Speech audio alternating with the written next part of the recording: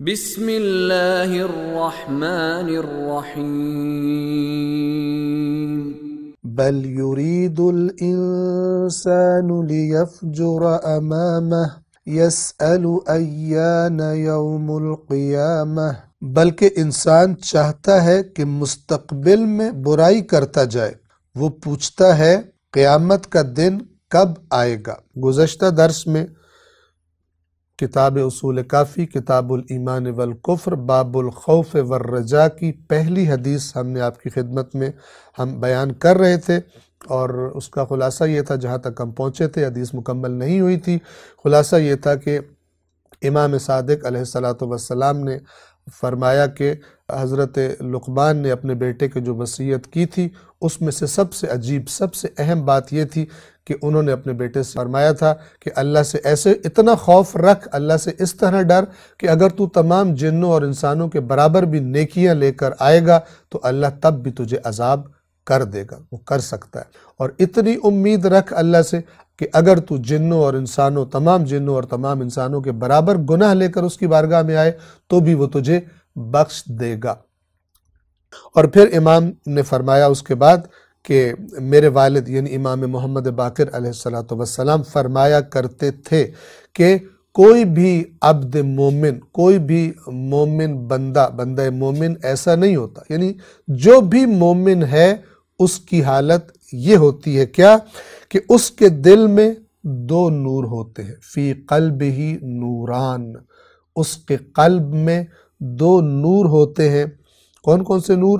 نور خیفت و نور و رجائن ایک خوف کا نور اور ایک امید کا نور۔ یہ دو نور ہر عبد مومن کے دل میں ہوتے ہیں۔ اگر کسی کے دل میں خدا کا خوف نہیں ہے یعنی یہ نور نہیں ہے خدا کے خوف والا، تو گویا کہ وہ مومن نہیں ہے۔ اور وہ شخص کے جو خدا کی رحمت سے مایوس ہو چکا ہے، وہ بھی مومن نہیں ہے، جس کے دل میں اللہ کی رحمت سے امید کا نور باقی نہیں ہے، وہ بھی مومن نہیں ہے۔ قرآن کریم نے سورہ یوسف میں فرمایا کہ جب حضرت یعقوب علیہ السلام نے اپنے بیٹوں سے کہا تھا کہ یوسف کو ڈھونڈو، یوسف کو تلاش کرو تو وہاں پہ فرمایا تھا کہ اللہ کی رحمت سے مایوس نہ ہو، اللہ کی رحمت سے کافر مایوس ہوتے ہیں۔ اللہ کی رحمت سے مایوسی کفر کی علامت ہے، ایمان کی علامت نہیں ہے۔ فرمایا کہ کوئی مومن بندہ ایسا نہیں ہے، مگر یہ کہ اس کے دل میں دو نور ہوتے ہیں، خوف کا نور یعنی خدا کے خوف کا نور اور خدا سے امید کا نور۔ اور ان دونوں کی مقدار کتنی ہوتی ہے؟ کون سا زیادہ ہوتا ہے، کون سا کم ہوتا ہے، یا یہ دونوں برابر ہوتے ہیں؟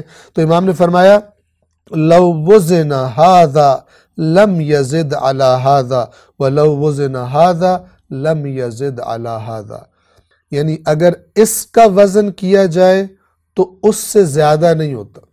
اس سے زیادہ نہیں ہوتا۔ کیا مطلب؟ اگر وہ جو مومن کے دل میں خوف ہے، اگر اس کا وزن کیا جائے تو وہ امید کے وزن سے، جو امید اس کے دل میں اس کے وزن سے زیادہ نہیں ہوگا۔ اور اگر امید کا وزن کیا جائے تو وہ خوف کے وزن سے زیادہ نہیں ہوگا۔ یعنی جتنی امید ہے اللہ کی رحمت کی، اتنا ہی خوف ہے۔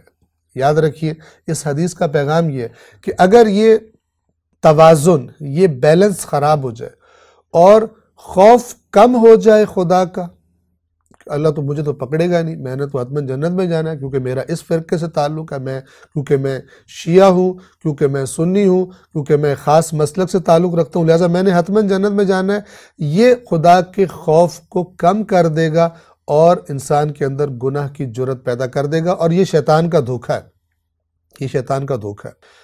اللہ تبارک و تعالیٰ نے قرآن کریم میں، سورة البقرہ میں یہودیوں کا یہ عقیدہ بیان کیا، وَقَالُوا لَن تَمَسَّنَ النَّارُ إِلَّا أَيَّامًا مَعْدُودًا اور یہ کہتے ہیں کہ ہمیں جہنم کی آگ گنتی کے معدود، گنے چنے ایام سے زیادہ جہنم کی آگ ہمیں نہیں چھوئے گی۔ یعنی ہم جہنم میں اگر گئے بھی تو کچھ دن رہیں گے، وہاں سے آ جائیں گے۔ تو اللہ نے ان کے جواب میں فرمایا، قُلْ أَتَّخَذْتُمْ عِنْدَ اللَّهِ عَهْدًا فَلَنْ يُخْلِفَ اللَّهُ عَهْدًا أَمْ تَقُولُونَ عَلَى اللَّهِ مَا لَا تَعْلَمُونَ۔ اے رسول، ان سے کہیے، تم نے اللہ سے کوئی عہد لے لیا ہے کہ اب اللہ اپنے اس عہد کے خلاف نہیں چلے گا، نہیں کرے گا؟ بلکہ تم اللہ کے بارے میں وہ جھوٹ بول رہے ہو کہ جس کا تمہیں پتہ بھی نہیں، جس کا تمہیں علم بھی نہیں۔ تم نے سنی سنائی باتوں سے یہ عقیدہ بنا لیا۔ اگر تم نے خدا کی کتاب پڑھی ہوتی تو کبھی بھی یہ غلط بات تمہارے ذہن میں نہ آتی اور تم گناہ کرتے وقت اپنے آپ کو اللہ کے عذاب سے محفوظ نہ سمجھتے۔ یہ کیوں قرآن نے ہمیں بتایا کہ کہیں اس قسم کی فکر ہمارے اندر پیدا نہ ہو جائے اور ہمارے اندر خدا کی نافرمانیوں کی جرت پیدا نہ ہو جائے۔ لہذا امام امام صادق علیہ السلام کیا فرما رہے ہیں؟ کہ میرے بابا فرمایا کرتے تھے کہ یہ دونوں نور، خوف اور امید کے دونوں نور یہ مومن کے دل میں برابر ہوتے ہیں۔ اگر خوف کا وزن کیا جائے تو وہ اتنا ہی ہوتا ہے جتنی امید اللہ کی رحمت کی، اور امید کا وزن کیا جائے تو وہ بالکل اتنا ہی وزن ہوتا ہے جتنا اللہ سے خوف کا وزن ہوتا ہے اس کے دل میں۔ اگر یہ توازن قائم نہ رہے، خوف زیادہ ہو جائے تو انسان کہتا ہے کہ اب میں تو بخشا ہی نہیں جاؤں گا۔ امید نہ رکھے خدا سے، میں نے اتنے گناہ کر لی اب میری بخشش کیسے ہوگی؟ اب توبہ کا فائدہ ہی نہیں ہے، تو پھر وہ اور گناہوں میں غرق ہوتا چلا جائے گا۔ اور اگر امید بڑھ جائے اور خوف کم ہو جائے، تو انسان کہے گا کہ میں تو حتمن جنت میں جانا ہے، لہٰذا میں کچھ نہ کچھ گناہ کر بھی لوں، تو کوئی مشکل پیش نہیں آئے گی۔ اسی باب کی یعنی باب الخوف والرجا کی دوسری حدیث میں، یہ حدیث بھی امام جعفر صادق علیہ السلام سے ہے۔